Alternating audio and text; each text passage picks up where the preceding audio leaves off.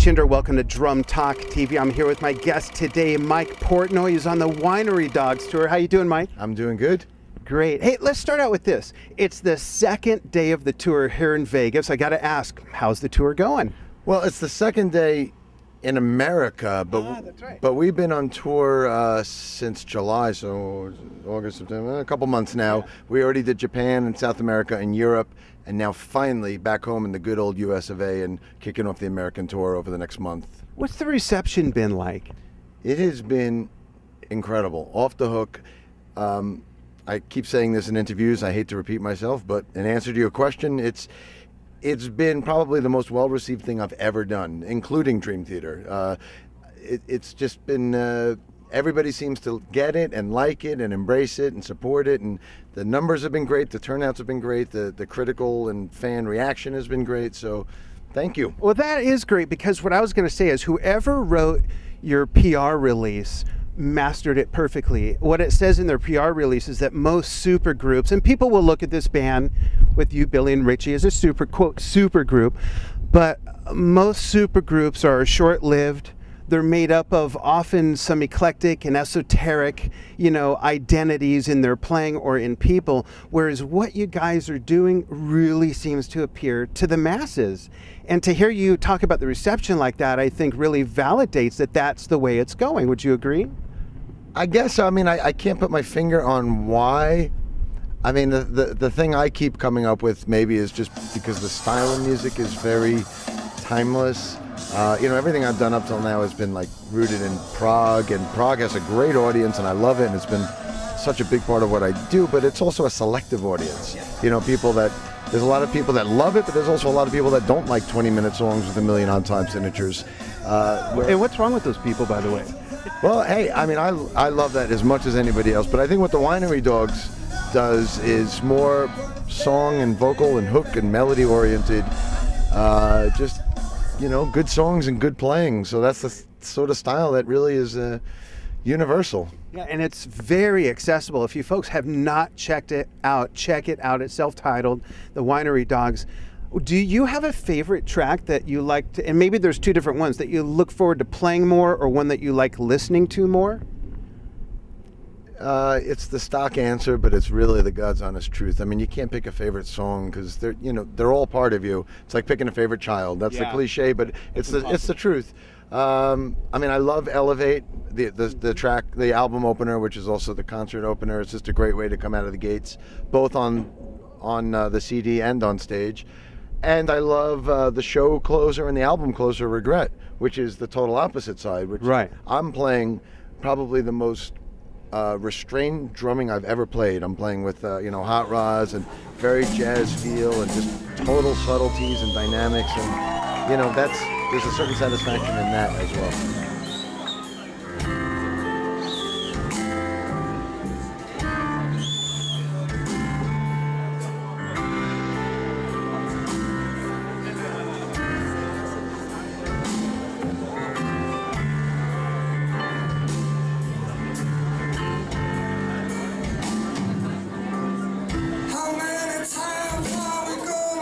You know, I, I hope you don't mind this analogy, but Elevate to me has a very blue collar feel, if you will. And I think a lot of the Winery Dogs music, even though it's diverse within its own styles, it just has so much more of a mass appeal. And it's very relevant, which I like too. I think it's what we were saying before. I, you know, uh, you know, Billy Sheehan and I obviously are muso kind of players. You know, uh, but Richie, Richie's a real soulful artist, more of a singer-songwriter, amazing guitar player. He's got the technique and the chops, but he's really all about the song and delivering the song with soul and conviction. Um, so I think I think that's honestly Richie's voice and style that makes this all so uh, easy to swallow. You know. Absolutely. I want to switch gears and talk a little bit of drumming, starting with your influences. I think most people, you've been around so long, you've done so many interviews that most people know most of your influences. Obviously, Neil Peart, John Bonham, goes on and on, Bill Bruford, Alan White, blah, blah, blah, blah. Name them. Keith Moon- Keith Moon's a big one. Yeah. My question is who might not be on that list that even if they're not as much of an influence, and maybe that's why they're not on the list for whatever reason, what influence might surprise people who you still enjoy listening to? I would say two that come to mind would be um, Lars Ulrich because he takes a beating in the drum community. Absolutely. And uh, and granted, you know, he's not technically the greatest drummer, and he'll be the first to admit it. But his, um, you know, when he came around 30 years ago, uh, he and Metallica changed music, or at least hard rock and heavy metal music. And uh, to me, that value can never be underestimated. So, regardless of whether or not there's a million drummers out there that could play tighter and faster, to me, it's more about the, the overall package. You know, I judge drummers based on their personality, their package, what they bring to their band, more than technique. Uh, that's why I also love Ringo Starr and Keith Moon so much. So Lars would be the one answer. Another answer would be Phil Collins. I feel I think Phil Collins. I mean, prog fans know how great a drummer he is. Right. But the general public view him as you know the guy that was. The pop guy. the pop guy from the 80s. But the fact is, if you listen to Foxtrot and uh, Trick of the Tail and Lamb Lies Down on Brand X. yeah, absolutely. I mean, the drumming, you know, back that he was doing back in the early to mid '70s was was amazing progressive drumming. Yeah, I actually watched last night. I watched the live video of the Selling England by the Pound tour with Suppers Ready and all that, and it, it to me, maybe because I like it so much, to me that music is so timeless, Absolutely. way ahead of its time when it came out in the early '70s, and here it is 40 years later. Isn't that funny It's still that I just amazing. Named Phil Collins, have- having you just watched it last night. Absolutely. So that's cool. Now, morphing from there into your different drum kit setups, and that's a whole other subject that often people criticize drummers for. And, and I never understand why drummers criticize other drummers for anything. It, it, it makes no sense to me at all. They have drum envy, man. Drum envy and drum kit envy sometimes. My question regarding your different kits, you know, they're never all the same. How much work goes into stylizing the kit for that music? Does the kit come first or does it come out of what happens in the studio or working on the music, jamming it? You know, it's a good question uh, in terms of which comes first. I think usually going into a, a, a project or a band um, or a session, I know what I'm getting into and I know what I'm shooting for. I mean, you have to choose the kit first because you can't show up to a session and have nothing to play on and then choose the kit. Right. So, uh, you know, anytime I do a session or a band or start something, I have I picture in my head what I want to play. Uh, and every time I've done a different album or a different band or a different session, I, I try to mix it up and do something different. I mean, I've gone from the massive kits, you know, with Dream Theater. That's kind of what I became known for. And, Right. And I know I, you know, I, I know I got a lot of criticism for as well having the massive kits. But the reality is, when I was a kid, you know, I would look at Modern Drummer magazine the way that most normal kids would be looking at Playboy and Penthouse, looking at the drum kits and like, oh my God, I'd look at Neil Peart's kit and I would like, I want a drum kit like that. So when I was in a position to actually have whatever I wanted, I went for the Mammoth kit and it suited Dream Theater's style. But after 25 years of that, I surely like to mix it up. What I'm playing with the Winery Dogs now is a five-piece kit. I was going to say, when you showed up with that, did they go, "Wh- wh- what's up? Well, actually, uh, when me and Richie and Billy first got together, um, I just worked on. I, I, I didn't even bring a kit to the writing sessions because Richie had a kit in the studio, and he was like telling me, "Well, I got a kit here, but it's too small and it's blah blah blah, it's falling apart." I was like, "I don't care. We're just writing." So I get there, and it was literally kick, snare, floor tom. It's a it's literally a three piece kit: kick, snare, floor tom, hi hat, and ride. Right. And it was it was like so freeing for me. I was to say, it was l- musically liberating in a way, wasn't it? It made the music and the song like dictate everything and and I had to adapt to it. And that was the first step in kind of w- where I've gone with the Winery Dogs. And then after the writing sessions, I brought a kit in to actually do the album and that's the same setup I'm using on tour, which is Right. a, a Bonham 5 piece. Right. But um you know, compared to when I always played with Dream Theater, this is the polar opposite. And people might look at it on paper, like seeing me behind the small drum set, it may seem weird to them. But if you come see one of these shows, it's so natural. I mean, I feel very comfortable, and I feel like, I feel like I'm really shutting up the naysayers. Right. You know, it's like, look, I don't need that big kit. I like that big kit. It's a form of expression, Right. but it's not the only form of expression. And when I play on the five piece kit, I feel very natural. I don't lose any of my personality on stage and any of my, you know, I've noticed in my the my that. entire presentation is still the same. It's just kind of, you know, condensed. Right. And then then to get back to the original question, there's been everything in between. Like with with Adrenaline Mob and Avenged Sevenfold, I had a very big kit, not Dream Theater level, but still very big. And then with the more proggy stuff I do, like Transatlantic or Flying Colors or Neal Morse solo stuff, I have a, a more a more traditional single bass with a double pedal. You know, you, you hit it on the head, Mike, when you said a form of expression. The problem I've always had with people criticizing the size of kits is you never criticize a guitar player for having eight guitars. They have different sounds. It feels different to him for what he's going to play or her. A piano has maybe 88 keys. You don't just show up with the two octaves you're going to use for that gig. Well, that- that's the thing. When I started playing the dr- drum kit, I mean, I, I joke about it saying, uh, you know, the two things you could tell by the giant kit is A, I didn't pay for it, and B, I don't set it up. you know, that's my old joke. But the reality is, you know, when I was in a position with Tama and Sabian to have whatever I wanted, I always felt like more is more. I mean, why more not- textures, why more not tones. Have all these options. like an orchestra or a symphony or a choir, you simply have more timbres, more tones. absolutely. And and then comparing again to what you're doing with Winery Dogs, it's that form of expression that suits the music, and that's why it works, I mean, which is I've great. always, always been a drummer that plays for the song and for the band, first and foremost. Right. And you know, choosing the kit and the size of the kit is is hand in hand with with that approach. You know, playing for the music. And when I pick a kit, and when I decide what I'm going to play on an album or on a tour or on a song, it's all about what's right for this band and for this music. Right. Where is the kit for Cygnus and the Sea Monsters, and how did that kit develop? Is that kit like in your garage next to your ride-along lawnmower, and you jam on it every night? What's the deal? I have a I have a drum room at my house. If you go online, Sabian did a very cool video, an upset thing in their Obsessed series, and we actually show my drum room, and I've showed my drum room in my uh, in Constant Motion DVD. But anyway, I have a drum room at home, and I have my uh, my Rush tribute kit signed by Neil, by the way. Awesome. But uh, I also have my my Keith Moon. Uh, Tribute kit, my John Bonham tribute kit, and my Ringo Starr tribute kit. I, I did four tribute bands, and in each of those cases, Tama made me replica kits. Good for them. Yeah, and I kept them and I have them in my drum room at home. That's great. And then uh, the guys who own Chromie, you know who Chromie is, the uh, Fly By Night tour kit that was Neil's. Um, they'll they want to know if you want to play it sometime. They tote this thing around, put it on display at music stuff. I'll give you their information. That's cool. But um, yeah, Well, that'd really be cool. The the the Rush tribute kit that I had for my Cygnus.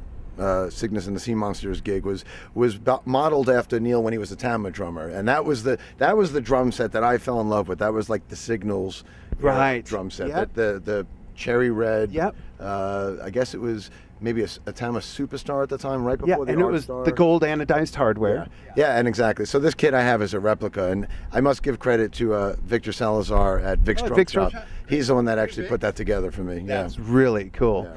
Great. Um, when we talk about drums and the different styles, the diversity, this might sound like a silly question, but I got to ask: What do you work on? Like, do you work? Are, are there things that you hear that you want to do your own version of? Are there things that you do that you want to polish up or ex- extrapolate certain parts of and make something new of? Like, when you're alone and in your drum room, what do you do? You're not going to want to hear this, and this isn't the right answer to give in a drum interview. But You just read the drumming magazines like they're Playboy, when I'm not playing, I don't want to play. and that makes sense. I, I mean, I, I feel bad saying that, but I'm I'm I'm a 46 year old man with with a wife and two teenage children that I never get to see. I get and that. I, I have other interests, and I spend literally half of my life behind the drum kit, on stage, or in the studio. So when I'm not, I'm not, you know. Don't shoot me down, but I'm not the Virgil Donati or or uh, you know Thomas Lang type, and God bless them for, for doing that, Right. being that. But that's not me. I, you know, I'm a different person. I have found that drummers who do that, and myself included, I've done it.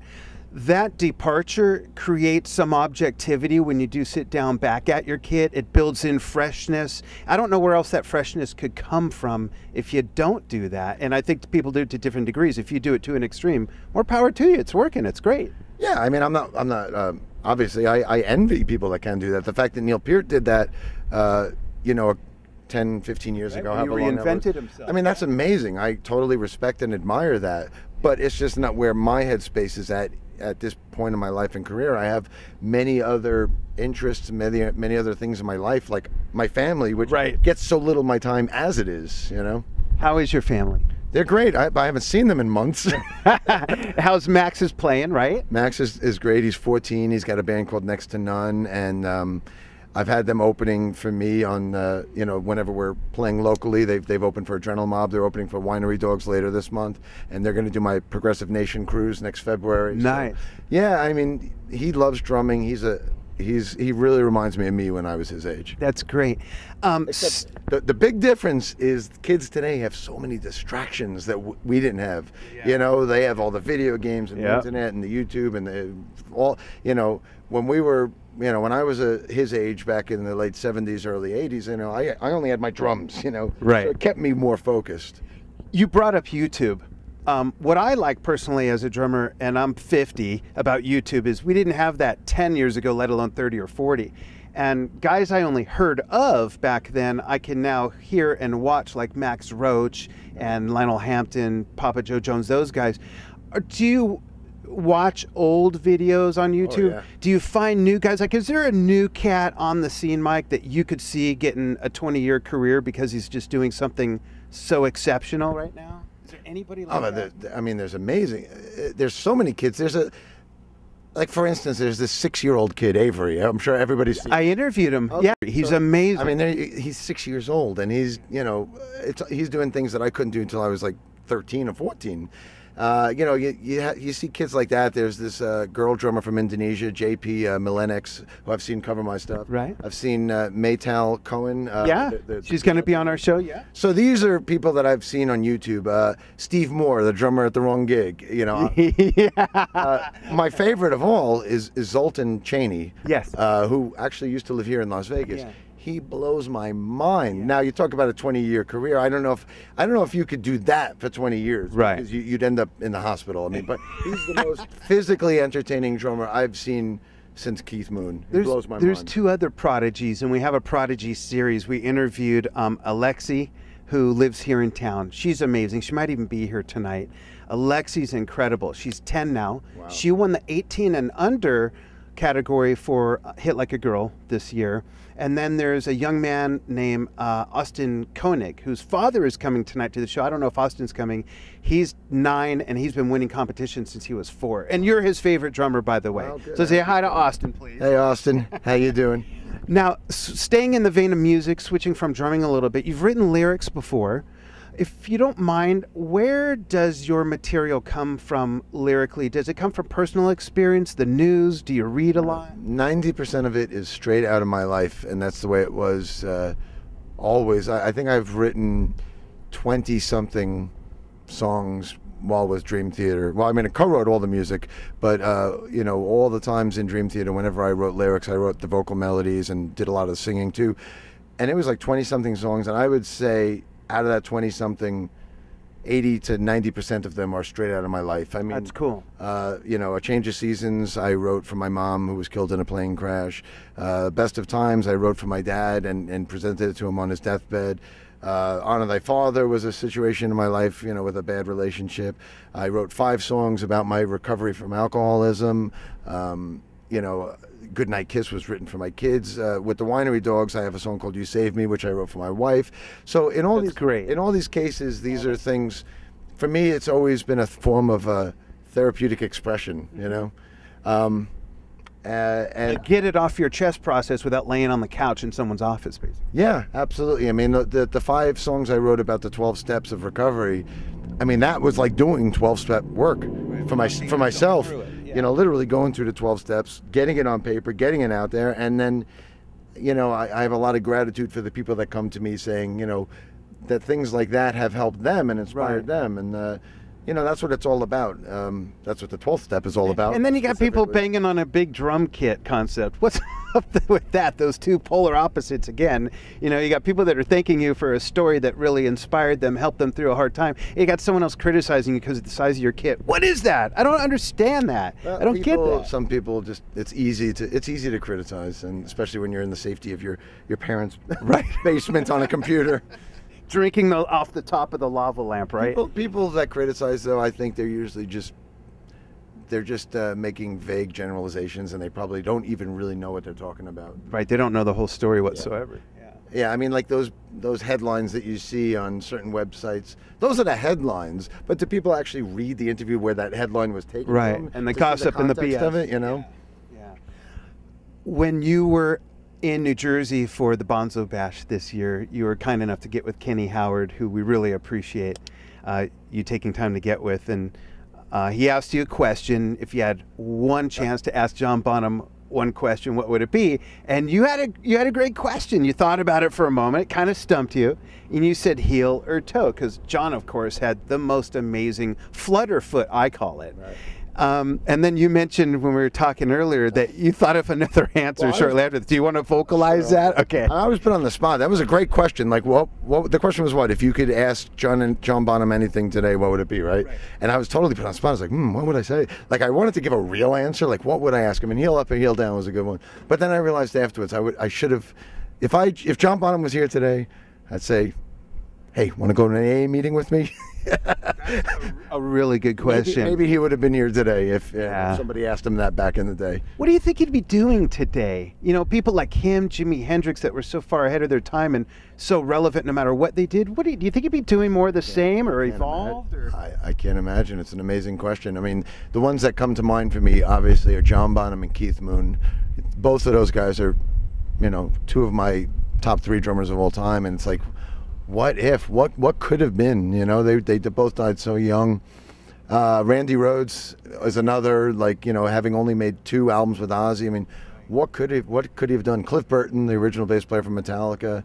You know, it's sad, but you know, people like that, you gotta appreciate, appre- you know, appreciate talent while it's here. You never know Yeah. when it's going to be taken away. You know, Before we go, I want to do a um, Mike Portnoy fun fact.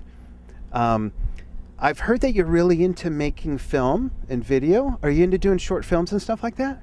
I, I'm I'm a film fan- fanatic. I can name any director of any film, any year, any. Uh, but I'm not so much a filmmaker. You know, Okay. I think I, I, I, I would be a great filmmaker if I had the patience and the time, but I don't know if I do. Right. I think I'd be a better film critic. I think I would be like doing what Roger Ebert used to do, watching films, analyzing films, talking about films. That's that's my passion. Because I know you do the thing at the end of every year. You talk about your favorite film, your favorite TV show, stuff like that.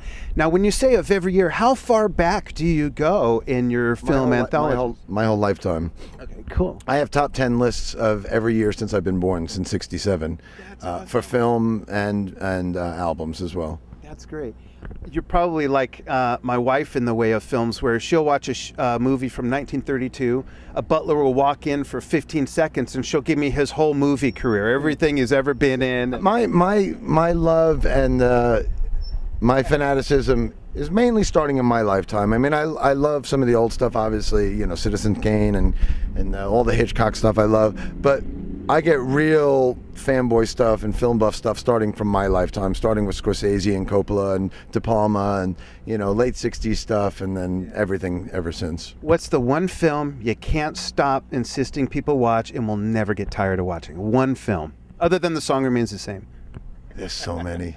There's so many, but I it might be Boogie Nights. Paul Thomas Anderson's Boogie Nights. I mean, on paper, you think it's just some uh, some crazy Mark Wahlberg film about a porn star, but man, it is one of the most well-made masterpieces of modern film, and, and as well as Magnolia, P.T. Anderson's follow-up. Love Magnolia. Love Boogie Nights. Stanley Kubrick's my all-time hero. So, you know, Clockwork Orange, 2001, The Shining. Uh, I don't know. I, I can, we, yeah, I could do a whole, a whole nother interview. I can absolutely do a whole other interview about film with you. We'll do that sometime. And then for the fun fact, it'll be about drumming. Um, we'll talk about Gentle Giant or something. Mike, thanks so much for coming on Drum Talk TV. really appreciate it. Really excited about seeing the show tonight, uh, which is great. Caught some of the sound check. Your kit sounds phenomenal. Props to Tama, Sabian, just everybody whose stuff you're using. Yep, there you go. The T. For yeah, life. There you go. Sabian for life. Very cool. No getting out now. Come on again sometime. We'd love to have you. Anytime you have something to promote or anything, push it our way. We'll always push it out there. and thank you're welcome. And thank you everybody for joining us here on another episode of Drum Talk TV here with Mike Portnoy. And we'll see you soon. Keep watching. Oh, I can hook you up with a Sabian shirt, by the way. Really? Absolutely. Oh, Keep watching.